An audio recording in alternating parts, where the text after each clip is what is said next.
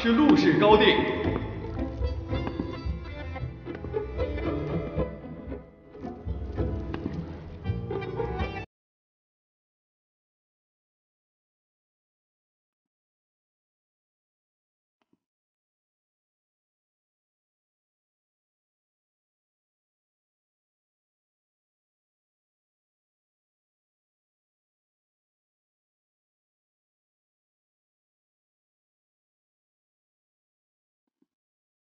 陆总，这次咱们肯定行。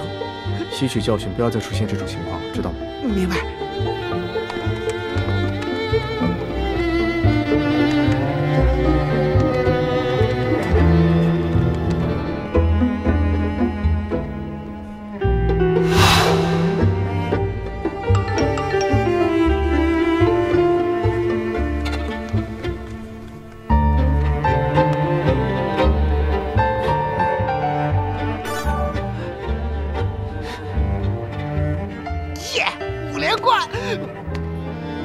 到最后一个不准松懈。明白，放心吧，陆总。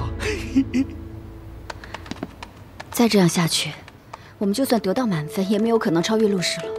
老大在那边肯定急死了。这可是他呕心沥血做了三个月的衣服。哎呦，绝对没问题，你放心吧。此时走上 T 台的是一名特殊的模特，她就是今年高定界的新秀青书高定的创始人秦舒小姐。这件压轴的服饰有何玄机呢？让我们来一探究竟。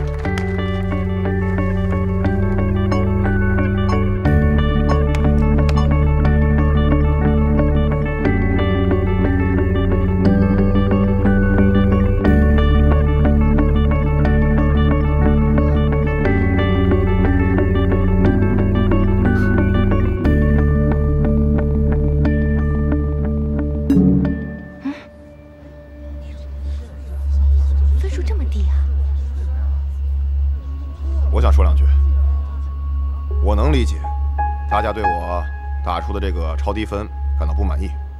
毕竟青书高定的自由展示效果惊艳，我个人呢也十分欣赏这位年轻设计师的创意和成果。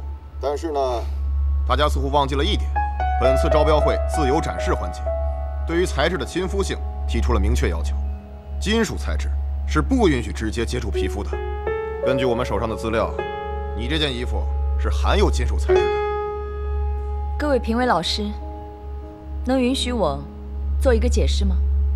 请讲。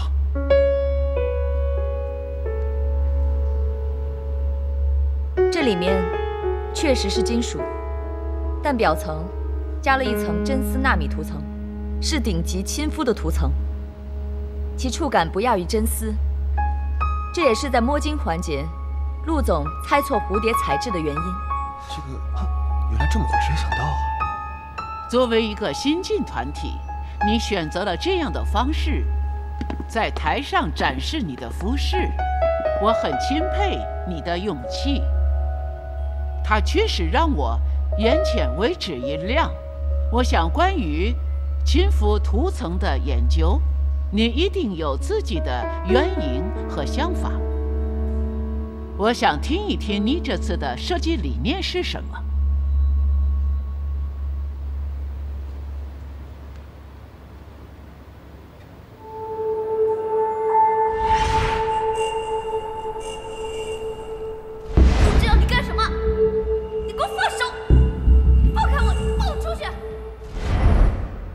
是一场大火，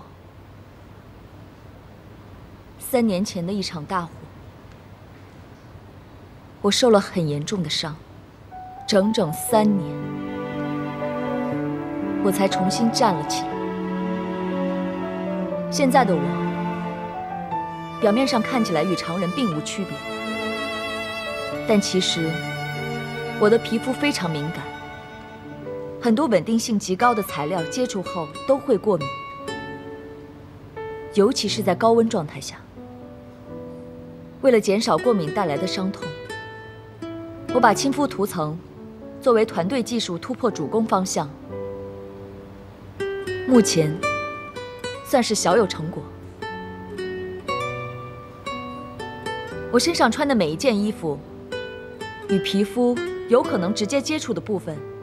都做了特别涂层处理，到目前为止，没有再发生过过敏现象。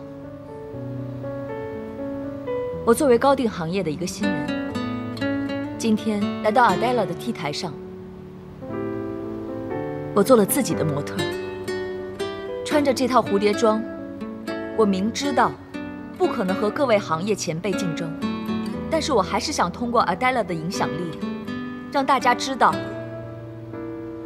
在这个世界上，有这样几个执着的人，钻研了这样一种小众的技术，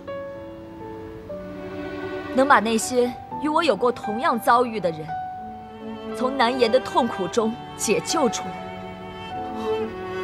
哪怕只是减轻一点点，就足够。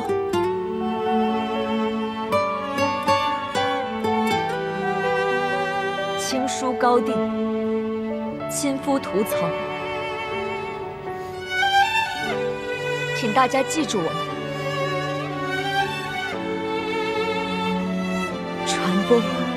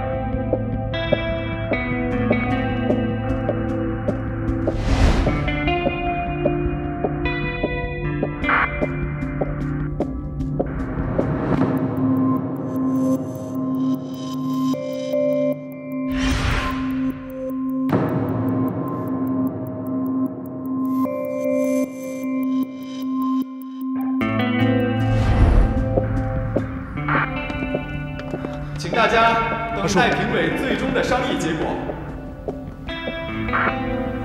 怎么样？没事吧？快用冰袋敷一下。嗯，放心吧，我没事的。刚才真是太精彩了，我从来没有想过有设计师愿意把自己的痛苦拿出来分享。阿叔，你真是太了不起了。但是这样的话，回忆起来你不难受吗？为了请假，我做什么都愿意。